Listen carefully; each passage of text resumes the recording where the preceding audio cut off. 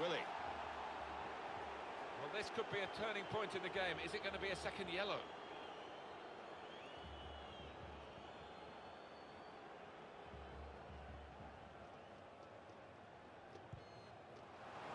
Oh, it's a terrific free kick.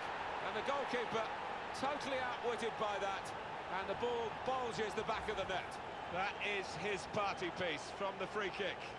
Well, as soon as the ref awarded that, I think the danger side...